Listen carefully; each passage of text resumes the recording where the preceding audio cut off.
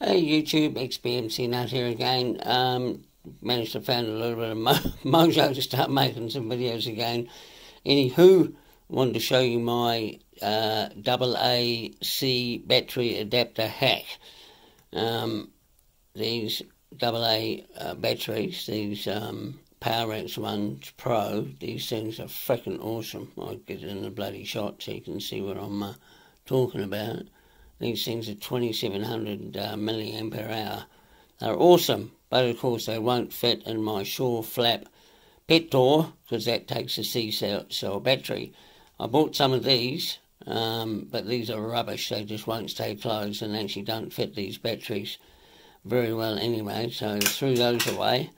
And um, what I discovered is that a a 20 millimeter conduit joiner, so this is for joining 20 millimeter conduit pipe, is actually exactly the same size as a C cell battery. Um, let me grab one. So I found a C battery and it's exactly the same size. A little bit shorter, but that doesn't matter. So what I did is I thought, well, I can put these um, in the SureFlap, no problem, but of course the battery wobbles around in there a little bit much. But what I found is if you cut a little bit of 20 millimeter flexible conduit and pop that in there, then the battery just fits in there perfectly. Well, if I didn't have a mounted bit, but here's one I made earlier. And um, yeah, so I've got a piece of flexible conduit in either end. And now I have four C-size batteries that are uh, NIMH 2700 milliampere so um, yeah it works a treat.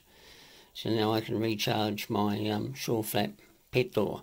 Um, just as a side note I did try and hack my SureFlap and connect it to 6 volts DC with an external power supply um, I tried two different methods to do that, and both of them were epic fails because for some reason it, appeared to interfere with the um, the radio signal for the pet tag. So whenever I connected it to an external power supply, the the door reader was just extremely unreliable. So I disconnected all of that and went back to using batteries. And yeah, these are my solutions. So if you've got a um, go down to your hardware store and buy some 20 millimeter conduit joiners and a bit of flexible pipe and you can make yourself some C-cell battery adapters.